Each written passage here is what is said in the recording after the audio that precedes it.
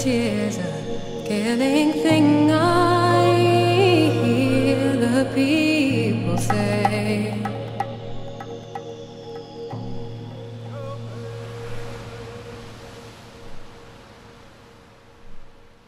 Whoa.